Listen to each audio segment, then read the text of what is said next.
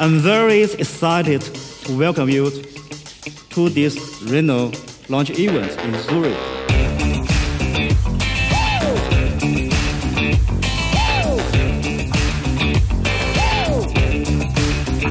We created the first Oppo smartphone. We wanted to create a product that really spoke to our consumers' needs.